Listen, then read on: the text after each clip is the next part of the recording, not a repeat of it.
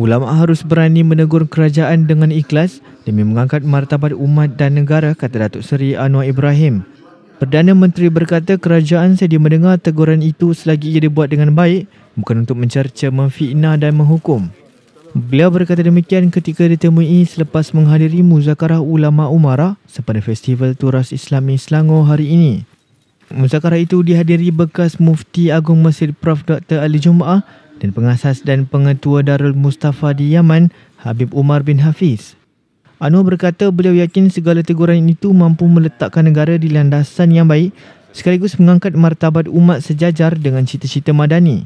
Sementara itu Perdana Menteri berkata isu mengenai kalimah Allah boleh dibahas secara tertutup tetapi tidak boleh sehingga ia mengelirukan umat.